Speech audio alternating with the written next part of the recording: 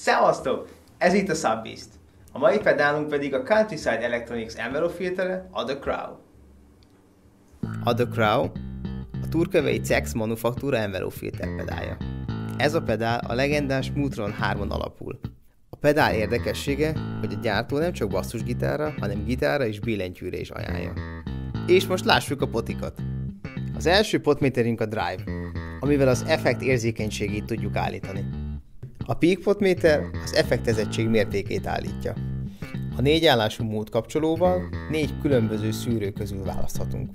Low pass, band pass, high pass, és az utolsó a band pass és a tiszta jel keveréke, a mix.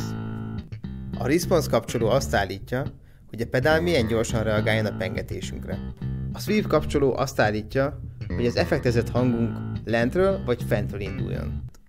A range kapcsoló arra szolgál, hogy mélyebb, illetve magasabb frekvencián működjön-e a filter. Az utolsó kapcsolónk a boost, ami a drive poti állásától függően hangerő emelése szolgál. És most lássuk ezt gyakorlatban is.